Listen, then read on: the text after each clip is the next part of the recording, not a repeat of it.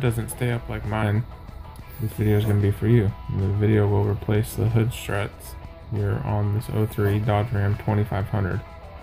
Uh, the struts were simply worn out. They don't want to hold the weight of the hood any longer, so uh, you see I have to have this janky wood block. I'd carried it around with me for a while and I finally decided it was time to fix it correctly. It's a simple process. Get a screwdriver, place it right there, uh, pry it open, and with a little bit of force you can pull the bracket right loose from the mount. Follow the same process for the upper.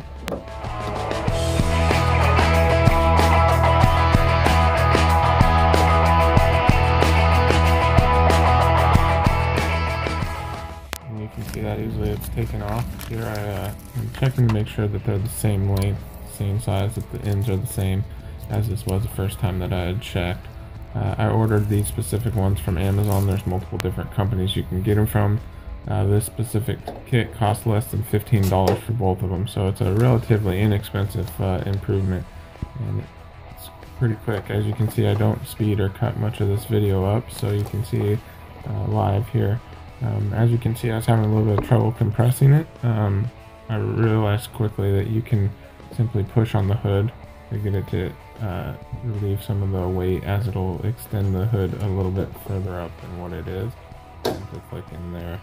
So I'm just using my offhand to push it up and allow that a little bit of extra room that you need. So now we go over to the other side, follow the same procedure to get it loose from the mount. And for the top, do the exact same.